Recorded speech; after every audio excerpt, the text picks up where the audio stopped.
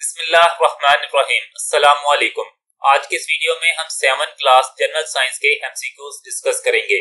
Number one MCQs है what is required for photosynthesis in addition to light oxygen and carbon dioxide oxygen and water carbon dioxide and water इसका right answer है carbon dioxide and water photosynthesis जो कि पौधों का खुराक बनाने का अमल है, इसमें पौधों को सूरज की रोशनी के अलावा कार्बन डाइऑक्साइड और पानी की ज़रूरत होती है। Oxygen and dash are the product of photosynthesis glucose carbon dioxide water इसका राइट आंसर है ग्लूकोज फोटोसिंथेसिस के नतीजे में ऑक्सीजन और ग्लूकोज पैदा होते हैं। फोटोसिंथेसिस जैसा कि पहले बताया गया था कि ये खुराक बनाने का अमल है, जिसमें पौधे सूरज की रोशनी कार्बन डाइऑक्साइड और पानी के साथ ऑक्सीजन और ग्लूकोज पैदा करते हैं। The loss of water from aerial parts of plants is called respiration transpiration evaporation इसका राइट आंसर है ट्रांसपायरेशन ट्रांसपायरेशन पौधों के पत्तों, तनों और फूलों से पानी के बुखारात के अखराज का अमल है। Exchange of gases takes place in liver bronchioles alveoli इसका राइट आंसर है एल्वियोलाई ऑक्सीजन और कार्बन डाइऑक्साइड जैसी गैसों का तबादला फेफड़ों के एल्वियोलाई में होता है। The part of the heart which receives oxygenated blood from lungs left atrium right atrium left ventricle इसका राइट आंसर है left atrium left atrium lung से ऑक्सीजनेटेड ब्लड रिसीव करता है और राइट एट्रियम जिसम के दूसरे हिस्सों से डीऑक्सीजनेटेड ब्लड रिसीव करता है।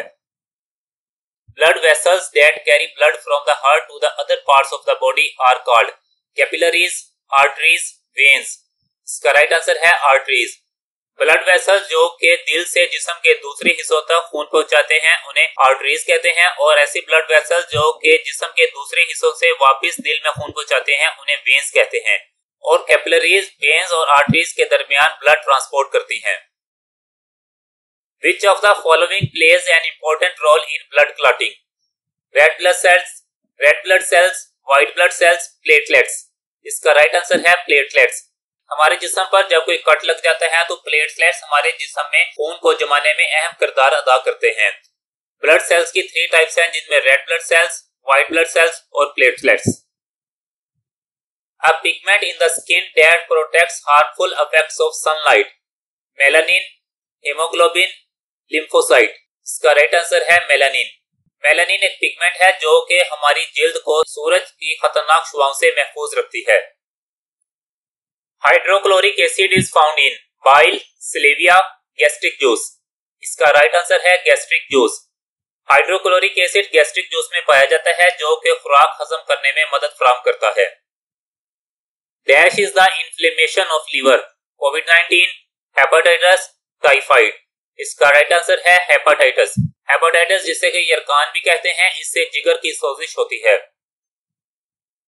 Billions of new blood cells are produced daily in heart, spleen, bone marrow. इसका राइट आंसर है बोन मैरो बोन मैरो में रोज़ाना billions of new blood cells produce होते हैं। The ability of a human body to defend itself against diseases causing agents is called bacteria immunity viruses इसका right answer है immunity इंसानी जिसम की बीमारी पैदा करने वाले एजेंटों से अपने दिफा की सलाहियत को कुत मुदाफत कहते हैं। The central part of an atom is called electron proton neutron nucleus इसका राइट आंसर है न्यूक्लियस एटम के सेंट्रल पार्ट न्यूक्लियस में न्यूट्रॉन्स और प्रोटॉन्स मौजूद होते हैं, जबकि इलेक्ट्रॉन्स न्यूक्लियस के गिर्द डिफरेंट शेल्स में मौजूद होते हैं। इलेक्ट्रॉन्स के ऊपर नेगेटिव चार्ज होता है प्रोटॉन्स के ऊपर पॉजिटिव चार्ज और न्यूट्रॉन्स के ऊपर कोई चार्ज मौजूद नहीं होता। The number of protons present in the nucleus of an atom is called dash of that element mass number atomic number shell number इसका राइट आंसर है एटॉमिक नंबर एटम के न्यूक्लियस में मौजूद प्रोटॉन्स की तादाद को एटॉमिक नंबर कहते हैं। जबकि एटम के न्यूक्लियस में मौजूद प्रोटॉन्स और न्यूट्रॉन्स की तादाद को मास नंबर कहते हैं। मास नंबर को ए से डिनोट किया जाता है और अटोमिक नंबर को जेड से डिनोट किया जाता है। मास नंबर में टोटल नंबर ऑफ़ प्रोटॉन्स और न्यूट्रॉन्स होते हैं और अटोमिक नंबर में total number of protons the area around the nucleus of an atom where electrons are found are known as shells nucleus space इसका right answer है shells nucleus के गिर्द वो एरिया जिसमें इलेक्ट्रॉन्स मौजूद होते हैं, उनको शेल कहते हैं। जैसा कि आप ये पिक्चर में देख सकते हैं, ये ये न्यूक्लियस है और इसके इर्द गिर्द ये रेड और ब्लू कलर में प्रोटॉन्स और न्यूट्रॉन्स है और न्यूक्लियस के इर्द गिर्द ये ग्रीन कलर में डिफरेंट शेल्स में इलेक्ट्रॉन्स मौजूद हैं। जिनके ऊपर नेगेटिव चार्ज है और प्रोटॉन्स के ऊपर पॉजिटिव चार्ज और न्यूट्रॉन्स के ऊपर कोई चार्ज नहीं होता। Burning of match stick is an example of physical change chemical change change of colour इसका राइट आंसर है केमिकल चेंज माचिस की तीली का जलना एक केमिकल चेंज है। केमिकल चेंज ऐसी चेंज है जिसमें सब्सटेंस की केमिकल प्रॉपर्टीज़ चेंज होती हैं और एक नया सब्सटेंस वजूद में आता है। जैसा कि अंडे का फ्राई करना एक केमिकल चेंज है जिसमें अंडे का लिक्विड सॉलिड में चेंज हो जाता है। केमिकल चेंज परमानेंट मुस्तकिल होता है और इरिवर्सिबल यानी कि नाकाबले वापसी होता है। Which one is a physical change breaking a wood stick burning of a candle frying an egg इसका राइट आंसर है breaking a wood stick physical change ऐसी चेंज है जिसमें कोई नया मादा वजूद में नहीं आता और जो सब्सटेंस चेंज होता है वो भी वही रहता है सेम ही होता है। अगर एक लकड़ी की स्टिक को तोड़ा जाए तो फिर भी वो लकड़ी ही रहती है वो सिर्फ़ टूटी हुई है। फ़िज़िकल चेंज आर्जी होती है और ये रिवर्सिबल यानी कि दोबारा अपनी असल हालत में चेंज हो सकती है। जैसा कि पानी को अगर फ्रीज किया जाए तो उससे आइस बन जाती है और आइस को मेल्ट करने से वापस पानी बन जाता है। Sound can not pass through solid liquid vacuum इसका राइट आंसर है वैक्यूम साउंड वेव्स वैक्यूम से पास नहीं हो सकती. साउंड वेव्स मैकेनिकल वेव्स होती हैं, जिनको गुजरने के लिए एक मटेरियल मीडियम की ज़रूरत होती है, जो कि वैक्यूम से पास नहीं हो सकती. The speed of sound in air is इसका राइट आंसर है 343 मीटर पर सेकेंड हवा में आवाज़ की स्पीड 343 मीटर पर सेकेंड है. Normal human ear can hear the sound of dash frequency इसका राइट आंसर है 20 हर्ट्ज टू 20 किलो हर्ट्ज इंसानी कान 20 हर्ट्ज से लेकर 20 किलो हर्ट्ज फ्रीक्वेंसी तक की आवाज़ें सुन सकता है। The bulb of a thermometer is filled with mercury oil water इसका राइट आंसर है मरकरी थर्मामीटर का बल्ब मरकरी से फिल किया जाता है। Centigrade scale is also called Fahrenheit scale Kelvin scale Celsius scale इसका राइट आंसर है Celsius scale centigrade scale को सेल्सियस स्केल भी कहा जाता है। The temperature of boiling point of water in centigrade scale is 100 degree Celsius 32 degree Celsius 100 degree Fahrenheit इसका right answer है 100 degree Celsius पानी का बॉइलिंग पॉइंट 100 डिग्री सेल्सियस होता है। What is the melting point of ice in Fahrenheit scale इसका right answer है 32 degree Fahrenheit Fahrenheit scale में ice का मेल्टिंग पॉइंट 32 डिग्री फारेनहाइट होता है। और फारेनहाइट स्केल में पानी का boiling point 212 Fahrenheit Celsius scale में 100 डिग्री सेल्सियस और केल्विन स्केल में 373 केल्विन स्केल होता है। और ह्यूमन बॉडी का नॉर्मल टेम्परेचर फारेनहाइट स्केल में 98.6 फारेनहाइट सेल्सियस स्केल में 37 डिग्री सेल्सियस और केल्विन स्केल में 310 केल्विन होता है। और पानी का फ्रीजिंग पॉइंट फारेनहाइट स्केल में 32 डिग्री फारेनहाइट सेल्सियस स्केल में 0 डिग्री सेल्सियस और केल्विन स्केल में 273 केल्विन होता है।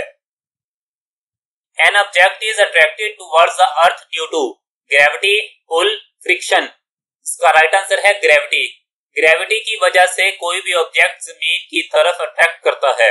फॉर एग्ज़ाम्पल जब हम कोई चीज़ ऊपर की तरफ़ फेंकते हैं तो वो ग्रेविटी की वजह से ज़मीन की तरफ़ अट्रैक्ट करती है। Season on the earth surface are caused by इसका राइट आंसर है orbital motion of the earth around the sun सूरज के गिर्द ज़मीन की ऑर्बिटल मोशन यानी कि गर्दिश की वजह से सीज़न वजूद में आते हैं। और ज़मीन की अपने एक्सिस के गिर्द गर्दिश की वजह से दिन और रात वजूद में आते हैं। The weight of an object on Earth's surface is 600 Newton. What will be its weight on Moon surface? इसका राइट आंसर है 100 न्यूटन ज़मीन पर अगर एक ऑब्जेक्ट का वज़न 600 न्यूटन है तो चाँद पर उसका वज़न 100 न्यूटन होगा। इस फार्मूला की हेल्प से हम चाँद पर ऑब्जेक्ट का वेट मालूम कर सकते हैं। अगर हम 1 बाई सिक्स को ज़मीन पर ऑब्जेक्ट के वेट से मल्टीप्लाई करेंगे तो चाँद पर ऑब्जेक्ट का वेट निकल आएगा। While preparing pickle which one is not use as preserving agent इसका राइट आंसर है हनी जब हम अचार तैयार करते हैं तो उसमें हनी को as a preserving agent use नहीं करते। जैसे, वैसे पेपर साल्ट और विंजर को प्रिजर्वेटिंग एजेंट यूज़ किया जाता है। The following are produce when electric current is pass through water oxygen and steam hydrogen and steam hydrogen and water जब इलेक्ट्रिक करंट को पानी में से पास किया जाता है तो हाइड्रोजन और वाटर प्रोड्यूस होते हैं। Scientist have arrange the elements in a table called the element table, periodic table, Newton table. इसका राइट आंसर है पीरियोडिक टेबल। साइंटिस्ट ने एलिमेंट्स को उनके इंक्रीजिंग एटॉमिक नंबर्स की बुनियाद पर पीरियोडिक टेबल में अरेंज किया था। एटॉमिक नंबर से मुराद न्यूक्लियस में मौजूद प्रोटॉन्स की तादाद को कहते हैं। और मेंडलीव वो साइंटिस्ट था जिसने पीरियोडिक टेबल तरतीब दिया था। वीडियो देखने का शुक्रिया। वीडियो पसंद आए तो कमेंट सेक्शन में ज़रूर बताइएगा। अल्लाह हाफिज।